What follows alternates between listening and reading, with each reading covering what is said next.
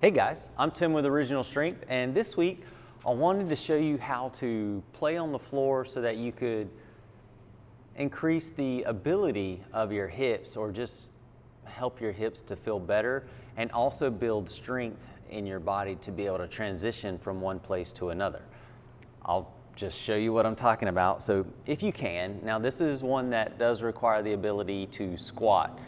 And if you don't have the ability to squat, well, I'll, I'll, I'll try to make another one of these videos to kind of get you there as well. But if you have the ability to squat, so, and you, it might be just easy to start from all fours, but you're gonna get yourself into a squatting position.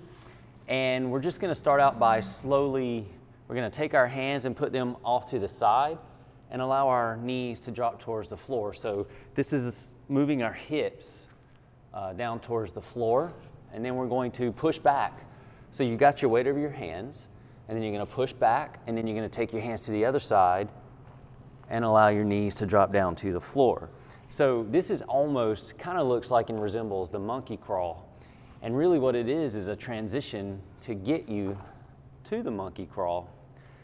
And if you don't know what the monkey crawl is, it is, you know, just moving from one side of your body to the other. But all we're doing is placing our hands away from us, out from center, and then transitioning our body over our hands. And if you want to, you can really exaggerate placing your weight over your hands and allowing those knees to go towards the floor. And then push yourself back. And you don't have to just do this out in the front plane. We can also be deliberate in going back and doing the same thing. And we can stay, well, I'll, I'll break this down. I know I'm about to get squirrely.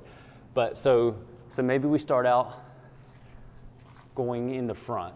And then maybe from the front, we push back to the back and come back to the front. And it does help if you look where you want to go. So if I want to go there, I'm going to look there. And if I want to go back there, I'm going to look back there. And then from here, can go over here to back here.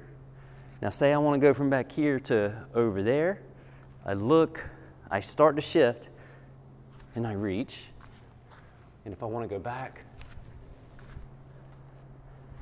so all we're doing is we are, I guess, targeting different places around our body and then putting our hands there and letting our hips relax towards that direction. They're really relaxing and falling towards that direction. And then with a weight shift, we just allow our hips or encourage our hips to move underneath our body and our intention of where we want to go. And then this can also lead to, like I'm using both hands now, but I don't have to. You know, we can, we can go anywhere and we're just, so we're developing the ability and the coordination and the fluidity to just get our body to move underneath us or where we want it to go.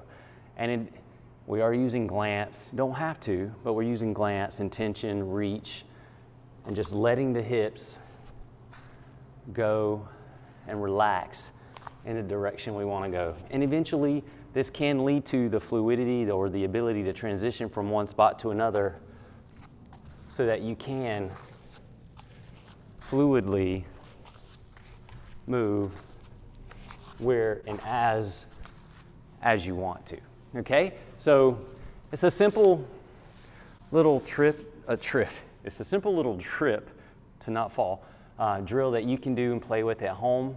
And just spend time there and just allow your hips to move where where your body will let them move.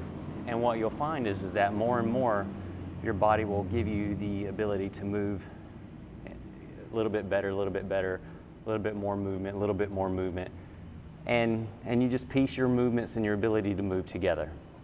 That's it. That's our drill this week is just playing in the squat. And again, if you can't squat, if you can't sit in a squat like that, you can, you can still play.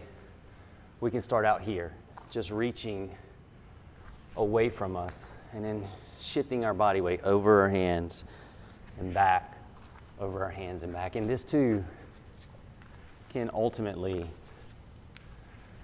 give you the ability to start playing around. So don't feel like if you can't do a squat, you can't do this at all. But again, we can make another video for another time on that. Play with this as, as you feel the need to, and let us know what you think. Thanks for paying attention to my rambling. I'm Tim with Original Strength, and we'll see you next time.